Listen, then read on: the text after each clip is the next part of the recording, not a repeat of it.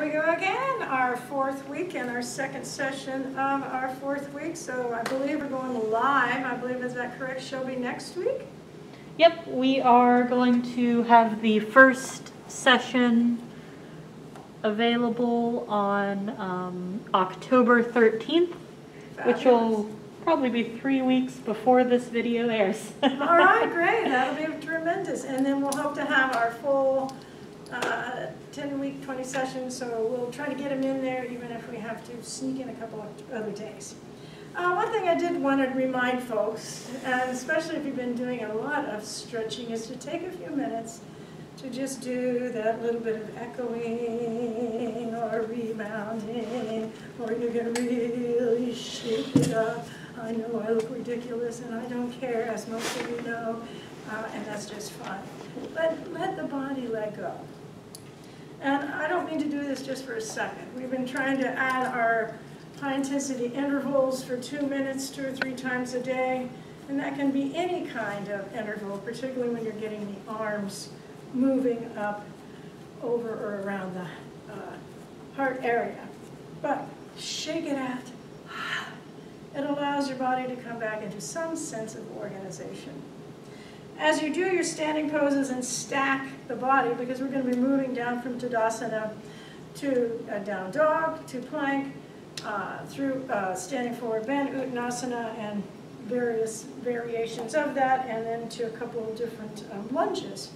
And again, have some props for safety, chair wall, and I'll show you some other ways that you can uh, practice down dog if it's a little too much for your wrists. But what's your normal way you stand? Here was my normal way to stand. So you can see why then I'm going to have a short side, a long side, a little cock to one hip's probably going to roll forward, and a pronated leg. And it took a wonderful myofascial release practitioner one session to bring this leg out of pronation almost completely. It still has a tendency to want to go that way, but through mindfulness and strengthening, I can work on proper integrated body alignment. And that is something I love to do besides yoga. And I try to integrate it into my yoga as well as in my bodywork practice and lifestyle uh, wellness practice. Another technique into good posture, and I love Jean Couch. Uh, she wrote the Runner's Book of Yoga or Yoga Running, a couple editions, and she has the Balance Institute in California. She's amazing and she'll bring new life to your body and your skin. But she does these cute little techniques called heel scoops. And you're really just scooping the heel in. But you keep the toes engaged into the earth and you move the leg as a whole. So ankle, knee, and hip. And you're scooping in the heels. This spreads the toes so you have happy monkey toes, or if you look at most children or babies, baby toes and it helps recreate the arch. Look at how much difference you can get when you work on this heel scoop. So finding the four points of the feet, under the big toe mound, baby toe mound, inner heel and outer heel. Sink them into the earth. Heel scoop, legs parallel. Activate the energy, activate the muscles around the, the, the feet, the ankles, Draw it up, activate the quads, lifting the quads, gently rolling open the hips, core is on, shoulders down the back, and you are solid. Tadasana, mountain pose. So I have my wall here. I'm going to be a little careful as I lift my hands up into Hastasana. So I'm reaching as much up as I'm reaching down. So I'm coming from my core, my heart, my dantian, and going in two directions. And the way to practice this is heaven and earth. So you just take one hand up and one hand down, and you're pushing the heavens away and the earth away. It's an amazingly easy but uh, very productive stretch. So heaven and earth, and shake it out so that I can just get things moving along the side bodies. I have a sticky, sticky mat today. So I'm going to move up into Hastasana. I'm gonna flow down into Uttanasana, standing forward bend. Now you can come into these poses any way you, you need or you like that's safe for you. But you can walk yourself out into downward facing dog. You can have a wide stance. Have your hands activated, but my wrists are not engaged in the earth. Elbow eyes forward. Lengthen that down dog. But you can have the knees bent. You can be playful in your down dog. Keep lifting the belly up and in. And drop those knees. You're pushing the arm energy through the hands. Ah, one leg at a time if you like. Adho Mukha Svanasana. And then rolling forward into plank pose. Hands under shoulders. Reaching through the heels. The head is neither hanging nor looking up. It's an extension of the spine. Belly button up and in. Get glutes engaged. I'm not an old gray mare, nor I am in modified down dog. You're a plank. And yes, it's work. Knees down, come down through child's pose for a little break. Use a support if you like. Whatever works best for you. And take a break. Now, if it's too much work to be in plank pose with the full arms, you can do a couple modifications with hands together, the lower two fingers are extended, elbows just inside the shoulders, and come into your plank here. This is still very strengthening. You're pushing that forearms into the earth. Your booty is not up in the air, nor is it laying down on the ground. It's a plank. Hands can be parallel. This is still great work. You can use a block to give you feedback or support here. So this is also a nice tool, and you can kind of squeeze everything to keep squeezing those scapulas down the back, lifting the belly up and in, and just do this for, oh, 10 or 15 minutes. No, few minutes goes a long way with planks, but it creates strength and stability pretty quickly. So we're going to go from plank to down dog to up dog, and we're going to come down through a couple different um, lunges. So this is a little more vigorous practice, but you can pick them apart, pull them apart, do one at a time, and then we'll show you a way that you can begin to stretch out the hands using the wall and some blocks as well.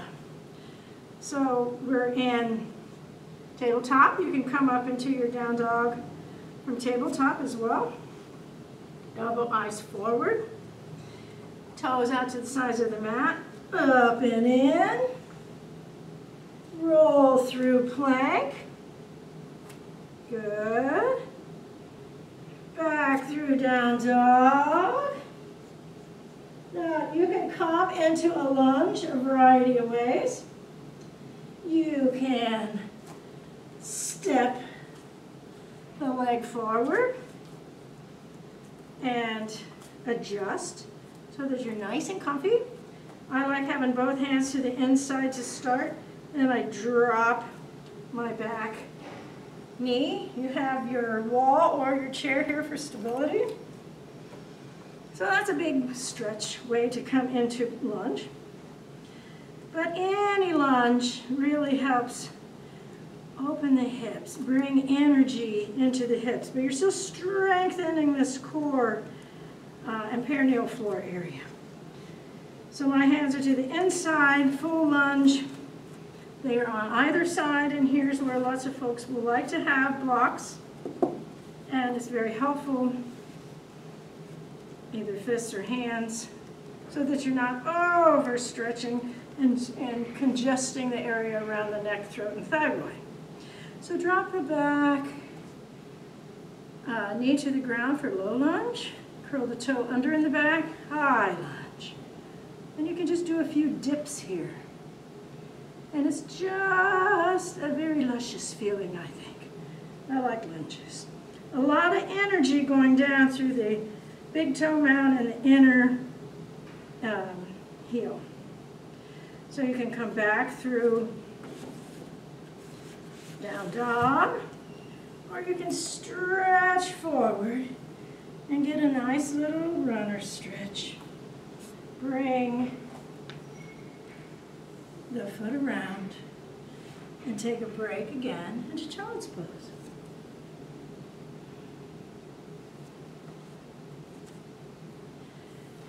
We're starting tabletop, toes out, curled under, reach the booty into the heavens, and you don't have to have a big giant down dog.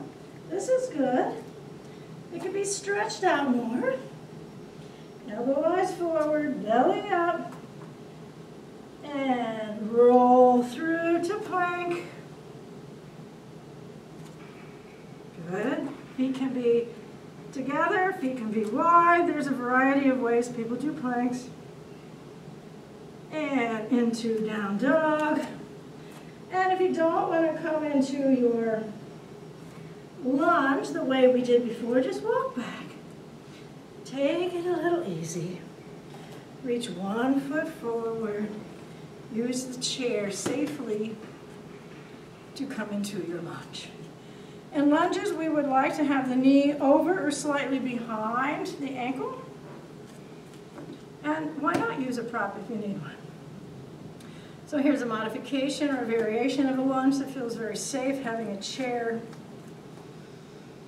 There's a lot of things I can do now. Lift the back leg, drop it. This is a lot of work. Lift, drop. I can stretch an arm down, up and reach back, and then open. I can use the wall and come across for a big stretch. So having props is handy. Again, you can have the blocks and come into full lunge, low lunge, full lunge. And a nice way to come out of your lunge is to straighten the back leg. There's a little hop there. Parsvottanasana, roll around, and just hang into double leg stretch. This feels good. You can soften the knees if you need.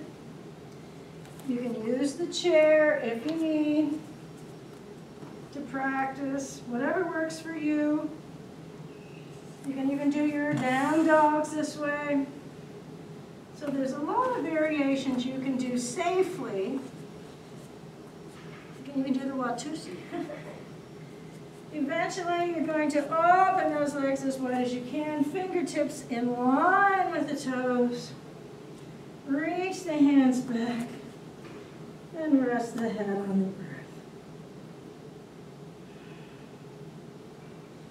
You can use props here. You can use blocks. And then you can heel toe, heel toe, all the way back up into Uttanasana, standing forward bend. Knees can be soft if they need. You can roll up like a rag doll. Still keep that core on. Or you can engage, and I mean engage in the core and reach back along spine, reach up to Hastasana. So a pretty powerful short sequence. We're going to come down again through down dog to plank, hold the plank, child's pose, and then take a break. So inhale up. And again, my wall is close here, so I'm reaching a little carefully. Exhale down. Uttanasana, standing forward bend. Walk forward. Step back into your down dog. Bring that belly in and up. elbow eyes forward. Roll forward on the toes into your plank. Play with plank. You'll be surprised. You may not be able to hold it long to start, but in a few days you'll be holding it longer and longer. Drop the knees. Slide back into down dog. I mean, into child's pose.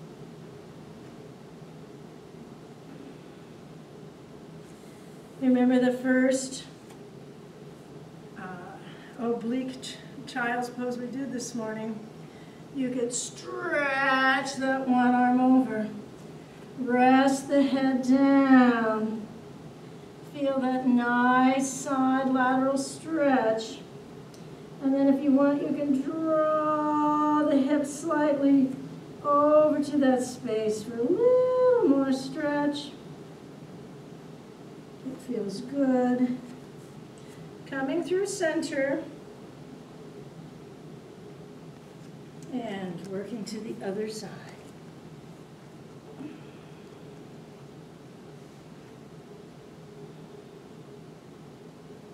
And then reach the hips towards the long arm side.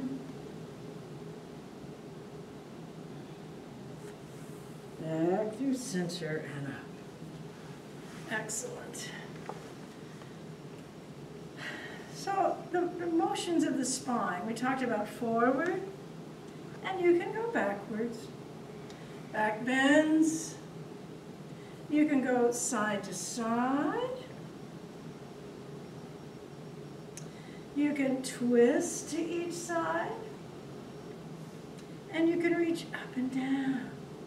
So rooting the sits bones as the, shish, uh, the crown chakra reaches up, you're stretching the sushumna. So the spine has a lot of motions that it can do and enjoy. Sometimes it's handy to have the blocks against a wall for a little support. And if that helps you practice, or the chair like we just demonstrated, I'm to move it out of the way here.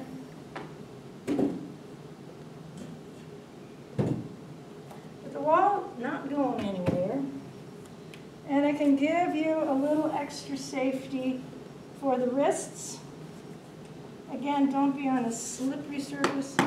Have a mat extended correctly. And you can practice your down dog this way.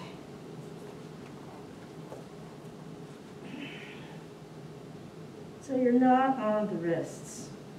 My mat is actually sliding on the carpeting. but my belly is coming up and in. It's just one more way to use some type of feedback support. Also, if you happen to have tight arches or fascia or plantar fasciitis issues, a couple things you can do to practice that. And we'll do a couple sessions where we review different things we've done as well. But it, it isn't easy for everybody to roll back on their heels. And my heels don't want to go to the earth here either, but I can roll my mat up. Now if I separate my knees, I can. And that's one way to stretch, but it does stretch different parts. So just giving yourself some support to come down on you can practice apanasana or different poses. And I could even use something more. So why not use what we have until you can begin to stretch out. Because you want your chest up and high, open for these poses, apanasana. Apanasana. So nice twist, balance, and twist. Good.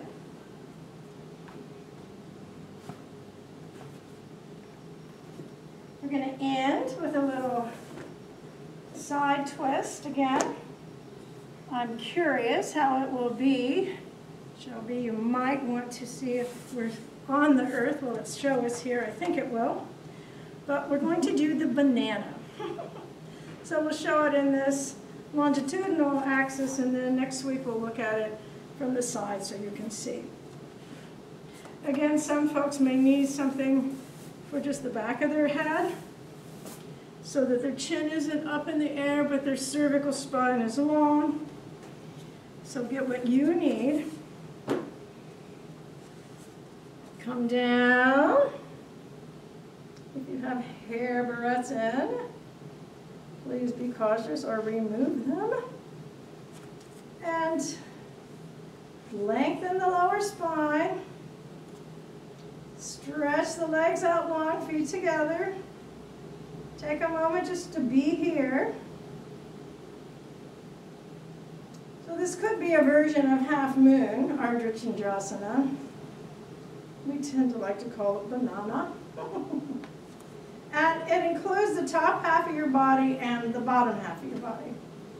It can be a much bigger stretch than you realize, so go slow, particularly if you have SI issues. So just by walking the legs over, you're moving them away from the midline. You're beginning to create this half moon here. That's a pretty big stretch. But you have this floor for support and feedback. So here's just the lower half of the torso. You can enhance the stretch by bringing the outside foot, resting the heel into the toes. That enhances the stretch. You can also add the arms up above, and they slowly walk to one side.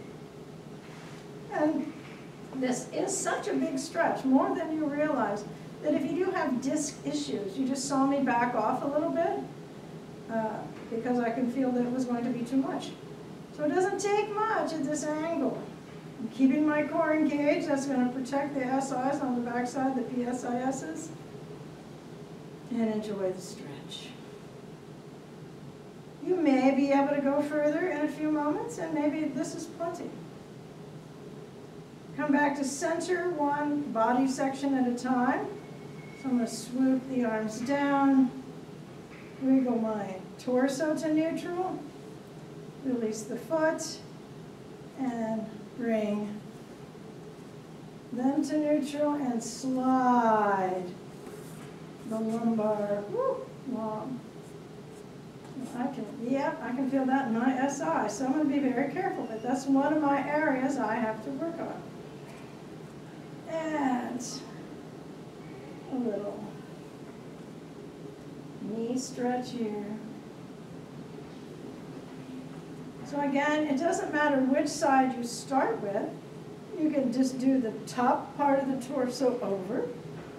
And this is a lovely stretch. If you want to add the legs, inch them over a little bit at a time. Give yourself time to move into that space. Keeping the core on, you'll feel the safety that it provides.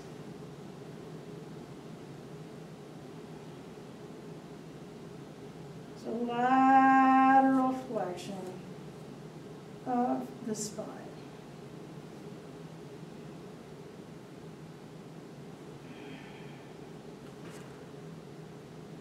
And then the pause is as important as the pose. Remember, we have discussed that. Give it a minute. You have SI issues, you can always have the knees bent. That provides a softer psoas and a little less pressure on the uh, sacral joints. We're going to end with a very slow, mindful, subtle yoga technique, which is bilateral, slow activate the slow twitch muscles. It's as if there's a string that the hand is a marionette, uh, uh, guide of the, the foot or the leg. So bilateral, the same side. Conlateral. You're moving the opposite sides together. You can be playful. Create your own motions. But conlateral. And you can bring both arms up with the leg. And then cross lateral. So that you're crossing the midline of the body.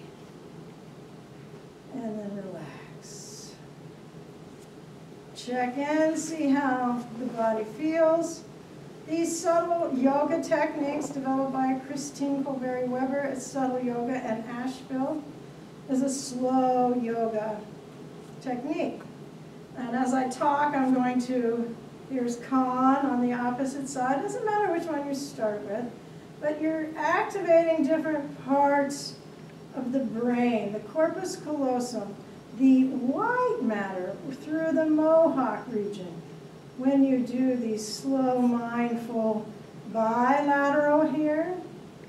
And again, if that's too much on your SI joint, have this knee bent as you're bringing it up and down. Bilateral, slow mind. I can even go slower. Conlateral.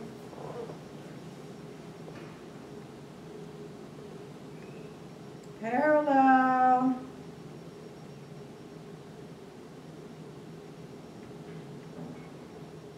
And cross body. Crossing the midline. And doing these in a very methodical, slow fashion with the breath throughout your yoga practice has a neuroplasticity effect. It enhances or turns off different sections of the brain. So you can change your brain by changing your body. You can reduce your stress cortisol levels and enhance stress resiliency. You can enhance the mohawk region of the brain, the white matter, where the glial or mirror cells are. You can reduce the amygdala, that those two little tiny places in the brain that create this fight, flight, and too much cortisol cycling, and they can get big and angry and inflamed. Or you can reduce the amygdala and enhance the hippocampus. So we can change regularly ourselves, our approach to the rest of the community, our wellness and health through our actions. So while you enjoy Shavasana here, I'm going to roll to my side, come up to sitting, find a nice comfortable seat, and encourage you to find your most comfortable and resilient corpse pose. Practice your four, seven, eight breath or your long, slow inhalations and exhalations. Three to five minutes is barely enough. Three to five minutes a couple times a day is better than nothing, and it's certainly a step in the right direction. But let's really create a resilient body and mind. So inhale slowly.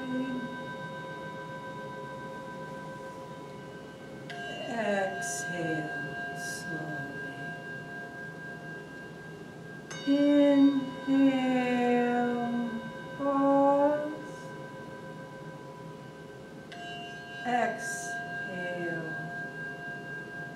Pause. In.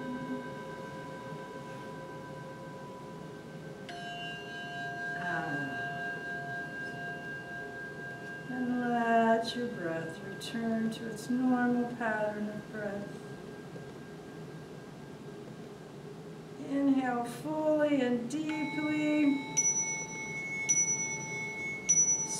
Stretch your arms and legs. Open your eyes and take in your surroundings. And when you're ready, roll to your side of choice and come to sitting.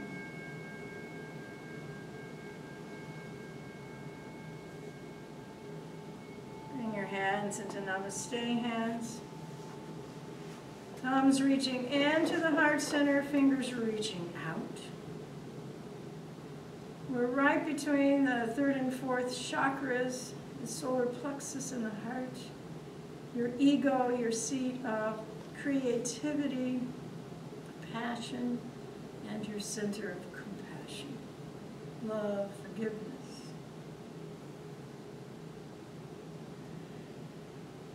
Sense and feel your breath of life rising and falling underneath your forearms. Your breath, unique just to you.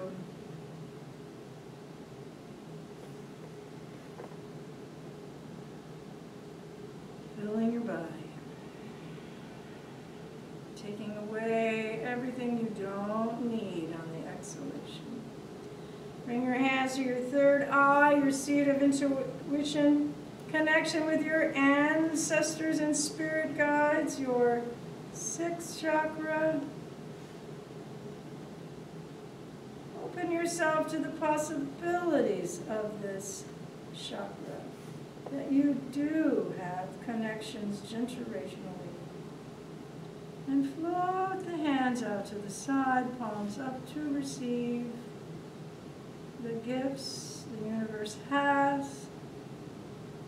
Om Shanti Shanti.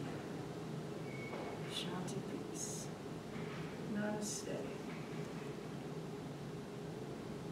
Thank you for joining us today, and we'll be here again next week for two more sessions and be checking in again to see how everybody is doing. How we're doing here, Shelby?